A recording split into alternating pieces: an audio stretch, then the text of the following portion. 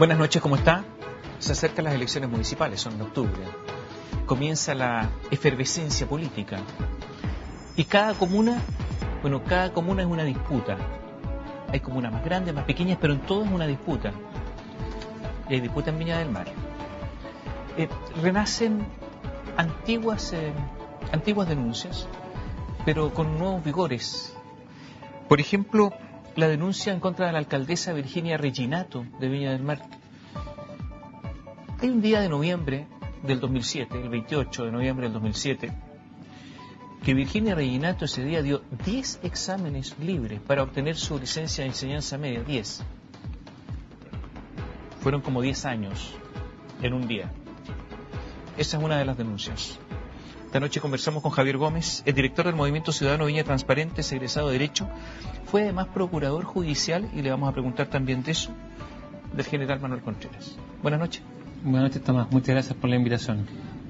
A ver, partamos por, eh, por esta historia antigua, pero que está vigente todavía, porque hay nuevas denuncias eh, acerca de Virginia Reginato, que todos sabemos que los candidatos a alcalde tienen que tener la licencia de enseñanza media. Correcto. O sea, tienen que tener 12 años de escolaridad ser egresado de enseñanza media. ¿Qué pasó con, con Virginia Reginato? Bueno, en primer término yo quiero explicar, digamos, de dónde surge esta, esta denuncia en el caso de dónde empezó a intervenir yo. Aquí hubo un caso tremendo de acoso laboral en contra de una docente, eh, en la cual eh, nosotros ganamos diversos recursos de protección. ¿Cómo se llama ella? Doña Luz Penros. ¿Y ella ha trabajado? En la Corporación Municipal de Viña del Mar. Nosotros ganamos... ¿Quién la acosó? Eh, la directora del área de educación, eh, la presidenta de la corporación municipal, obviamente es la alcaldesa. En su momento yo conversé con la alcaldesa muy amistosamente este tema, quedaron de solucionarlo y no se solucionó. Eh, continuaron dos años más de acoso. En esos dos años ganamos nosotros dos recursos de protección sucesivos, uno cada año. Y al año siguiente, al tercer año ya de acoso, en esa ocasión se falsificó un sumario se le imputaron hechos falsos, eh, declararon personas que declararon hechos falsos, todo en, la intimidad de la Corporación Municipal de Viña. Yo jamás como defensor tuve acceso a ese sumario y nosotros presentamos acciones legales que a, mi modo de ver ese juicio también presentó diversas irregularidades y concluyó con que esta docente que había servido por 28 años en la Corporación Municipal fue destituida sin indemnización alguna por falta de probidad, lo que me parece realmente un abuso. ¿Y qué tiene que ver esto con los estudios de la falta de probidad? La falta de probidad. O sea, que habría una conducta. O sea, que, la falta de probidad que, hay una conducta. La falta, la falta, hay una conducta por parte de los que sumariaron a la docente de falsificar un sumario, que por lo demás son delictivos, son hechos delictivos, y eh, el hecho de que ellos planteen que la docente debe ser destituido por falta de probidad. O sea, yo encuentro que cuando, cuando te eh, hacen cortar una carreta de esa forma y la privan de poder continuar trabajando eh, de esa forma, con una imputación tan severa, eh, sin duda que ahí fue cuando yo dije, bueno, si, si queremos hablar de probidad, hablemos de probidad de verdad. Ah, y, ahí, y, ahí, empezó, a investigar a la alcaldesa. No, es que eso, eso eran conocidos, son pero, populi, pero yo lo planteé judicialmente. Ah, ya. O sea, ya que lo están acusando a ella de probidad, hablemos, de, probidad en serio. hablemos en serio, efectivamente. Y, perdón, para ir a este, los estudios, en, este caso interesante, se llama Luz Penros. Penros. Esta es la docente. ¿Usted dice que el sumario fue falso? Fue falso. ¿Que los testigos fueron falsos? Efectivamente, los que presentó la. O sea, que mintieron los testigos. Sí, por supuesto. Es, tan, burdo la figura. perdón, pero, pero ¿y, ¿Qué ha hecho usted? En ese momento se presentó una acción criminal. ¿Y? quedó en nada. Como ¿Por qué? Estimaron que no había delito. Se sobreselló. ¿Ministerio Público? Ministerio Público. ¿Y el Ministerio Público está metido? No, yo no podría hacer una, una acusación como ¿Pero esa. qué? ¿Fue poco acucioso? Fue poco acucioso, sin duda. Y en esa misma ocasión... Oye, pero, pero podrían presentar una querella contra usted. Imagínese, el Ministerio Público dice que no hay nada. Ya estuvimos sujetos al escrutinio del Ministerio Público y usted dice que son unos, unos delincuentes, o eso está diciendo. Eh, es tan burdo la situación, Tomás, que eh, supuestamente en una semana ella acusó, ella golpeó, violentó a menores, apoderados y a funcionarios. O sea, intentamos que una funcionaria que en 28 años no ha tenido ninguna queja, que, ha sido, que tiene magíster en educación, o sea, es una persona capacitadísima, ¿ya? En una semana virtualmente se vuelve loca. y agrede a todo el mundo. Eh, y además que el, el auto cabeza de sumario eh, eh, eh, perdón, contenía hechos que supuestamente todavía no ocurrían porque llegaron las denuncias posteriormente. O sea, primero está el auto sumario que contenía los hechos y después llegaron las denuncias. O sea, es muy burdo. Ya. Y entonces usted ve toda esta situación que le pasa a doña Luz Penrose y dice, voy a investigar, voy a, a ver en serio a la alcaldesa. Correcto. Y, y usted dice que no dio los exámenes. Yo digo que no dio los exámenes, efectivamente. Eso está obviamente que mm, ¿Hay una denuncia? hay una querella. Eh, ¿Contra quién? Contra, eh, contra la alcaldesa, efectivamente. Sí. O sea, la alcaldesa es querellada hoy día. Sí. Eh, Y ahí se ¿Cuándo se presentó la querella? Se presentó en el mes de febrero del año 2011. ¿El Ministerio Público ha hecho algo? no? Mire, el Ministerio Público inicialmente era reacio a, a- a investigar estos hechos que consideraban que era una acción política. Eh, en definitiva, se fueron, incluso habían propuesto en un momento sobreseer definitivamente esta, esta causa. Y eh, los antecedentes que fuimos aportando, que dicho de paso, y ahí yo tengo que hacer una crítica importante al Ministerio Público, que, quien ha aportado virtualmente la totalidad de los antecedentes ha sido esta parte. O sea, el Ministerio Público no investiga. ha investigado, yo, yo creo que ha sido poco, él tiene facultades mayores para poder ¿Quién investigar. es el fiscal? Don Claudio Rebeco. Es el, él, él- el, señor del problema, que no hace su trabajo, según usted. No, eh, yo no, yo no, yo, yo- no. Claudio, Rebeco ha estado abocado a este tema, se Ya, pero usted dice- usted dice que pero, no- que no- Bueno, es que lo que pasa hay- que, lo es que si, eh, si tiene facultades, por ejemplo, lo que yo sí re- re- reclamo, y co- considero que se lo he dicho a él también, que aquí deberían haber eh, allanamientos de documentos, porque los documentos están en ciertos servicios públicos que ellos tienen O sea, mono- usted quiere que se allane algún lugar y se incauten documentos. Pero por supuesto, si son, son la prueba del delito. A ver, pero vamos por partes. Eh, la alcaldesa, el 27, fecha exacta, 28. 28 de noviembre del 2007, eh, está en Viña del Mar y viajaría ¿dónde a rendir los exámenes? Inicialmente lo que dijo ella es que había viajado a Colina, la ciudad de Colina, durante la mañana a rendir eh, sus exámenes, que son ocho exámenes, no diez, como usted señaló, ¿Son ocho? ocho para hacer la precisión, eh, y, y que habría estado ahí toda la mañana, Perdón, ¿estos ocho exámenes corresponden a 10 años de estudio? eso sí. Ahí está la diferencia. Ahí está ya. la diferencia, De 8 corresponden a 10 años. Correcto. ¿Mm? Entonces, eh, ella habría viajado durante la mañana, esto lo declaró en la carpeta investigativa. ¿Ya? Ya. Ella declaró, Ella fue en la mañana. Fui en la mañana, eh, partí, estuve ahí, estuve ahí desde media mañana hasta muy tarde. El director del establecimiento donde se rindieron los exámenes señaló que había dado sus exámenes también durante la mañana. Cinco profesores que declararon también señalaron que había dado sus exámenes sobre- en, en la mañana y el informe policial señala que dio su examen en la mañana. O sea, el informe policial, los cinco profesores, el director y la alcaldesa di los exámenes en la mañana. Exacto. Entonces nosotros buscamos en prensa y encontramos este recorte diario. Yo no sé a qué cámara lo puedo A lo mostrar. mejor lo podemos mostrar esa cámara a- a- acá. Eh, no sé si se, si se ve, pero hay que dejarla. Ya. Ya, Y en sí- que- sí- sigue mostrando. Perdón, en que ella durante la mañana estaba en un evento inaugurando un anunciando la realización de un evento deportivo Ya. de carácter mundial de tenis con los hermanos. Fillol ¿A qué hora fue eso? en la mañana. ¿Ok? Entonces, eh, a raíz de esa de, de- de esta, de esta información que nosotros aportamos, Eh, ella, ella estuvo en el Club de Tenis La Salina, ¿no es cierto? exacto. y Entonces, después yo entiendo que estuvo en el lanzamiento de un programa Oportunidad Segura También. de la Dirección de Desarrollo Comunal. También. ¿Mm? Entonces, eh, hubo actividades durante el día en Viña del Mar. Y, y ella, con, de- con posterioridad que nosotros entregamos este antecedente, cambia la versión ella de que en realidad dio los exámenes en las tardes. ¿Hasta qué hora? Entonces ella dice que estuvo tres horas en Colina dando los exámenes. ¿Tres horas? Tres horas. ¿De ocho exámenes? Tres horas y media, ¿sí? ¿Pero cómo los exámenes de Eh, ocho exámenes en tres horas? Es lo que dice ella, lo que dice su jefe de gabinete. Mm. ¿Ok? Entonces, eh, lo paradójico es que, lo, es que el director, los cinco profesores, también cambian la versión. Es decir, también se acuerdan de que en realidad no fueron los exámenes en la mañana como habían sostenido inicialmente en la declaración anterior, sino que ahora dicen que lo dieron en la tarde. ¿Y Carabineros qué hace? ¿Qué había dicho? El informe policial, eso no, no, se, ha, no, no se ha hecho un nuevo informe policial. Ah, ya. ¿Ok? Entonces, pero el problema ¿El informe es de, es de Carabineros o de la Policía de Investigaciones? eh, del PDI. De la Policía de Policía de Investigaciones. ¿Mm?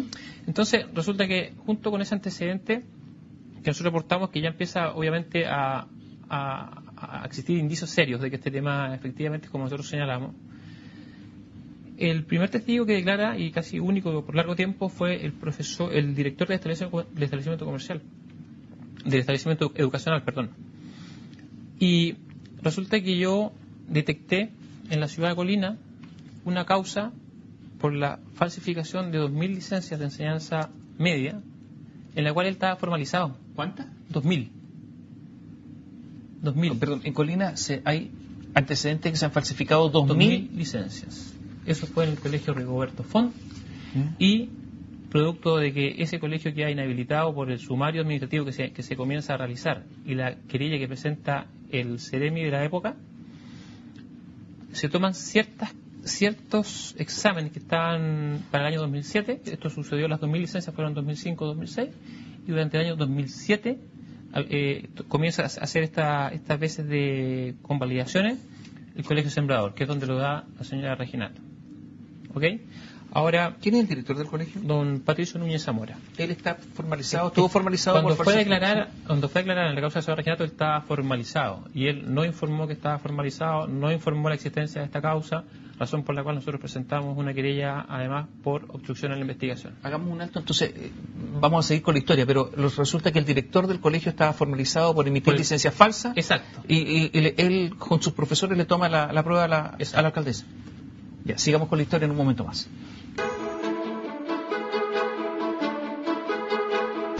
Javier Gómez nos acompaña esta noche. ¿En qué, habíamos quedado? En que la alcaldesa eh, de Viña del Mar, Virginia Reginato, declara que fue en la mañana a dar sus exámenes de enseñanza media, eh, 10 años, y resulta que dice que va en la mañana, después cambia la versión porque la mañana hizo otras cosas, entonces cambia la versión va en la tarde, eh, cambia la versión los profesores, los cinco profesores, el director, eh, todos. Eh, y resulta que el director del colegio, estábamos en eso, Patricio Alejandro Núñez Zamora, Así es. eh, estaba formalizado en esa época eh, por otorgar licencia falsa. Así es. ¿Cuántas? 144. ¿Cuántas? 144. Él, 144. Sí. ¿Y qué le es. pasó? Se llegó a una suspensión condicional del procedimiento, es decir, ahí hubo una especie de, Acuerdo. de acuerdo con el, con, O sea, el con Ministerio. Público se puso de acuerdo con él. Es parte de, son salidas extendidas efectivamente que concede la ley. Él reconoció que había emitido licencia falsa. Entiendo que, a ver, eh, eh, es una especie de reconocimiento tácito. No, hay reconocimiento porque Es una especie de reconocimiento eh, hay reconocimiento. dicen. ¿Sigue como director? Sigue como director. Ah, es firme el hombre. Así que, Ya. interesante el tema. ¿Ya? Y, y en, y en el caso, ya, y entonces eh, la alcaldesa, la alcaldesa 10 años tuvo que dar exámenes. Diez años. Pero, pero, oye, pero la alcaldesa no estudió nunca entonces, ¿cómo, cómo lo hizo? No, ¿Cómo va a estar dando 10 años? Mire, hay, hay- hay- lo que pasa es que el, el tema administrativo en realidad es inentendible, porque ahí hay alguna, algunos 10 certificados. años si uno estudió 12 años. Eh, entiendo que dio entre tercero básico y, cuarto, medio. Pero ¿cómo había cursado solo el segundo básico? Habían, No había, ella había cursado anteriormente otros cursos de, tenía cuarto medio laboral, que no le servía para efectos de... ¿Laboral? Laboral, que no le servía para ¿Qué es efectos de del su cuarto medio laboral? Es una modalidad, una modalidad eh, parece que más eh, precaria de, de estudios para efectos de poder trabajar. El Ministerio Público eh, entonces no, no ha investigado más, porque podría haber investigado, por ejemplo, lo- las cámaras de los, de, de los que hay en los, eh, en los peajes, en fin, alguna cosa, el auto que pasa con la alcaldesa. Esa diligencia se pidió recién después de un año y medio de, de ¿cómo se llama?, de investigación. El Ministerio Público no, no lo había hecho por sí mismo. Por por- sí mismo no, no, No. no, hay, hay, Hay una, hay una red de protección de la alcaldesa, ¿no? A su juicio. Eh, yo creo que es el poder, el poder que es la red, es la red de protección que, que rodea a todas las personas que tienen poder. Yo, yo creo ver, que pero ¿la protege la UDI? ¿Su partido? sin duda la han apoyado, absolutamente. ¿El Ministerio de Educación la protege o no? Eh, sí, yo creo que sí, sí. ¿El Servicio Electoral la protege no? El servicio electoral sí, también, sin duda. ¿También? Sí, sí. Ellos señalaron, el servicio electoral señaló de que no era tarea de ellos determinar si la licencia era verdadera o falsa, sino que eh, bastaba ¿El con Consejo de Defensa del Estado la protege no? El Consejo de Defensa del Estado recibió tardíamente la información. En estos momentos ellos están estudiando si se hacen parte. ¿Están estudiando? Están estudiando, sin duda. ¿Hace cuánto tiempo que lo está estudiando? Eh, mm, aproximadamente, yo creo que ya va un mes y medio, un mes. Pero están estudiando, efectivamente. Están pensándolo. Están pensando, efectivamente. ¿Y el Ministerio Público?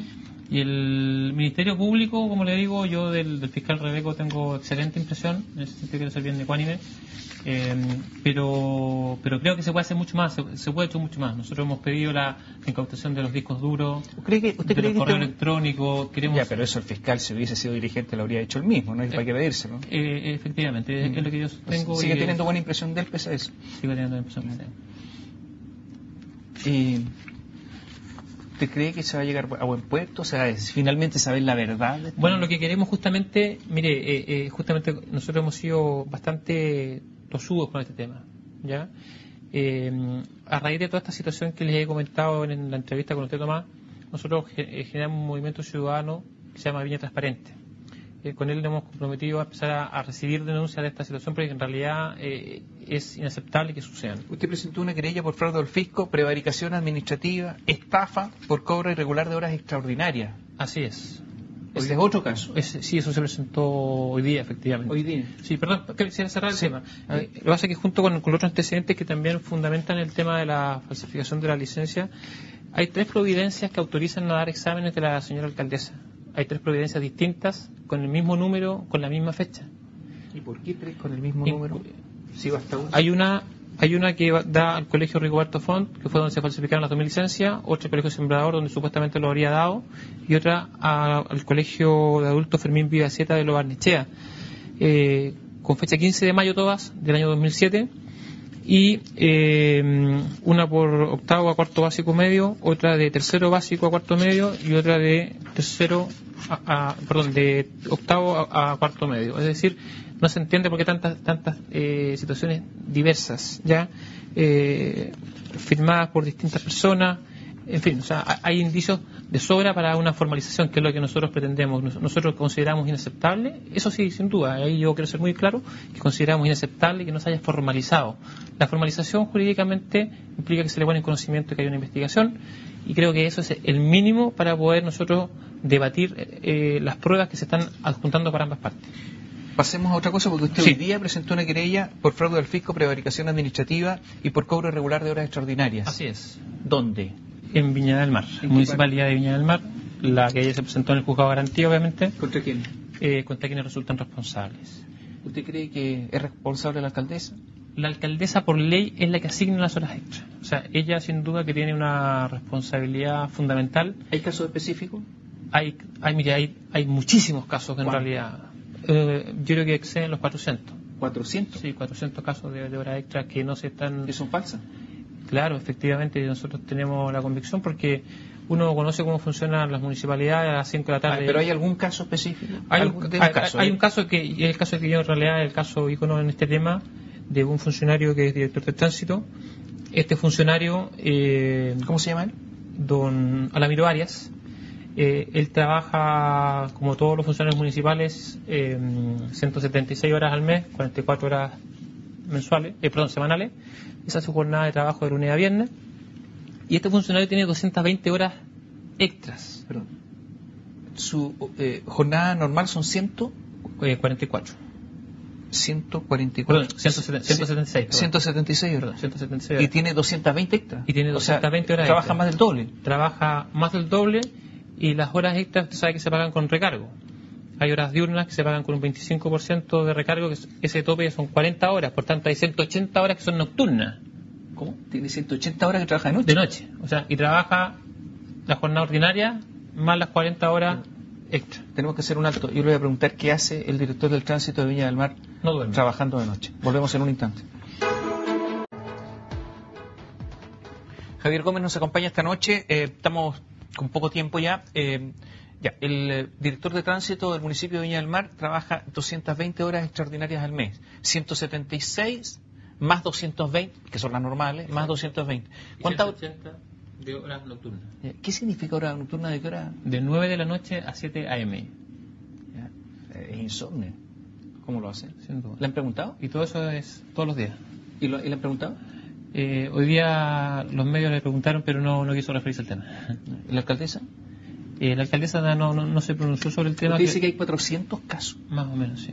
sí. Lo que pasa es que es- varía mucho. Pero varía son mucho. 400 una multitud, o sea, todo- una gran cantidad de gente sabe que debe- recibe, recibe dinero, remuneraciones por trabajo que no hace. Es, efectivamente. ¿Y por qué es eso? Eh, eso sin duda que habría que preguntarse a las personas que llegaron a ese acuerdo y que han permitido eso, que son los responsables. En primer lugar a la alcaldesa porque ella debería firmar los decretos que autoricen estas horas extras. Las horas extras no se pueden realizar sin un decreto que autorice. Por Hoy, tanto, hoy día la alcaldesa habló, ¿ah? desmintió todo esto, dijo que está revisado, que la Contraloría ha revisado todo. Esto está absolutamente fiscalizado.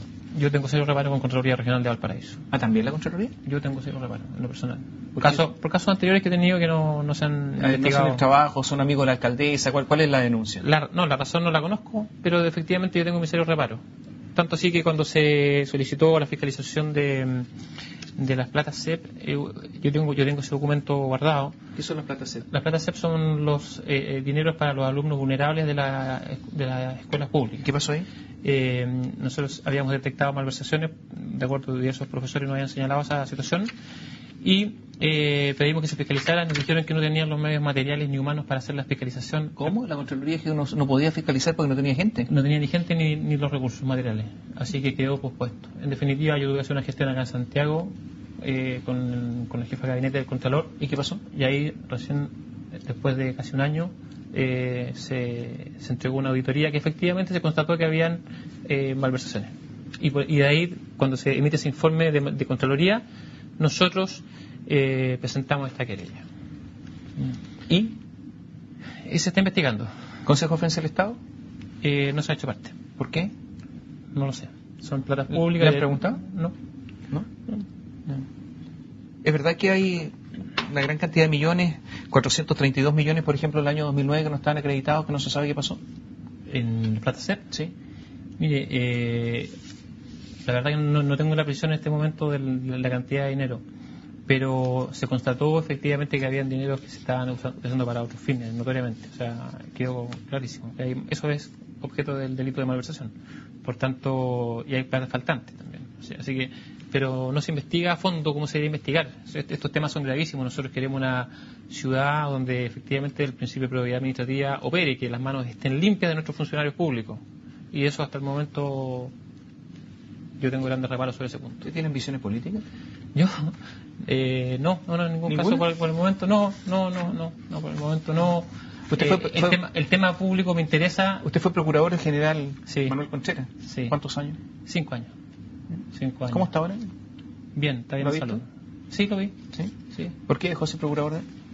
Eh, porque el ejército no tenía, perdón, no el ejército, sino la ONG que, que cancelaba los honorarios no tenía recursos para seguir pagando y por tanto obviamente yo trabajé un año gratis para su defensa y después de eso yo ya no continué trabajando. ¿Cree para en su inocencia? Caso a caso. Mm, hay casos en que, que efectivamente hay antecedentes que podrían haber comprometido responsabilidades y hay otros muchísimos casos en que Pero él dice que en todos los casos es inocente.